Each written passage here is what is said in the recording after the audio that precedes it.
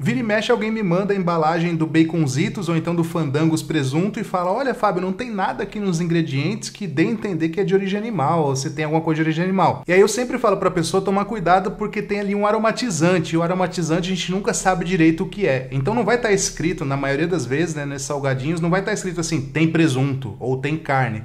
De qualquer maneira, existem realmente alguns salgadinhos que têm um aromatizante que é totalmente sintético, que não tem nada de carne nele, né?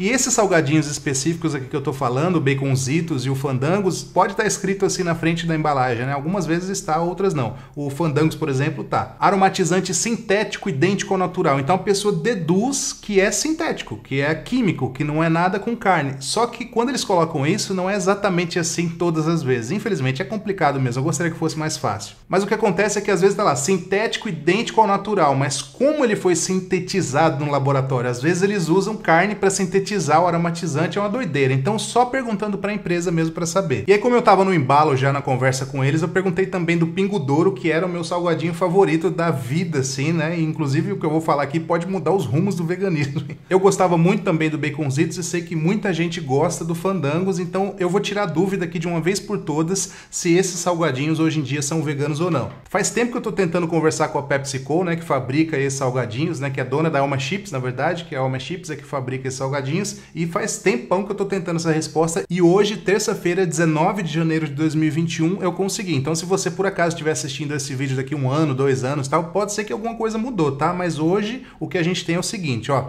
Eu perguntei assim para eles: Olá, gostaria de saber novamente sobre o aromatizante do baconzito, se mudou alguma coisa ou continua com carne, porque eu já tinha perguntado há alguns anos e o aromatizante tinha carne mesmo. Continuando a minha pergunta. E também gostaria de saber se o fandango sabor presunto tem algo animal. Aí eles me responderam o seguinte: Olá, Fábio, tudo bem? Nosso fandango de presunto contém derivados de soja. Pode conter trigo, centeio, cevada, aveia e leite. Esse pode conter não, não, não tem nada contra, assim. É só questão de contaminação cruzada, né? Então o produto pode ser vegano mesmo estando escrito lá pode conter leite, tá? Só que eles continuaram. Nosso baconzitos contém carne suína. Esperamos ter ajudado. E não tá escrito que tem carne suína no pacote, né? Mas é meio que você deduz, né? Baconzitos deve ter bacon mesmo, né? Bacon mesmo não tem, tá? O que tem ali é, é resto de carne suína de alguma forma. Eles usam essa pasta de carne suína para fazer o aromatizante do baconzitos. Então, primeira resposta que você já tem, o baconzitos de fato não é vegano, tá? Mas repito aqui, se você pega a embalagem para ler no supermercado, você fica realmente com dúvida. Eu já fiz isso várias vezes, fiquei olhando tal, só o aromatizante mesmo que, que poderia ter alguma coisa ali. O resto não dá nenhuma margem de dúvida. Mas justamente no aromatizante eles colocaram carne suína, tá bom? Então baconzitos não é vegano definitivamente, tá? Aliás, definitivamente hoje, né? Quem sabe no futuro eles mudem isso, né? Mas aí eu continuei, ó. O Fandangos não tem nada animal, então, porque eles não falaram do Fandangos, né? Eles só disseram que, que contém derivados de soja, não falaram que tem carne nem nada. Aí eu perguntei,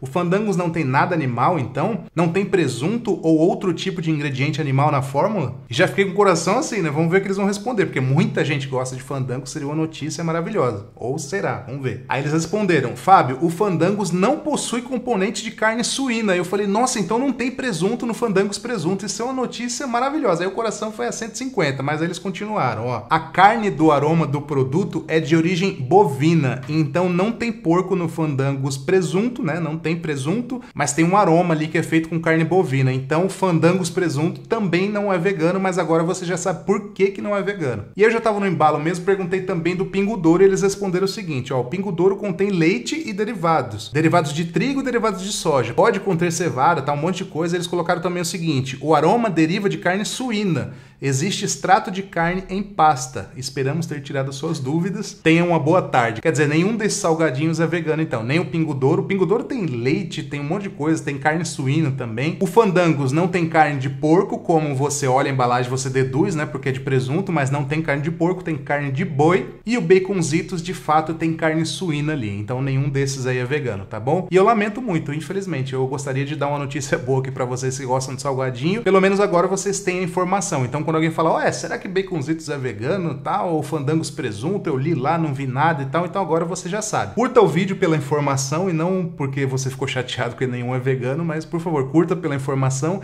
Inscreva-se aqui no canal também e em breve eu volto com mais um vídeo. Um grande abraço. Tchau.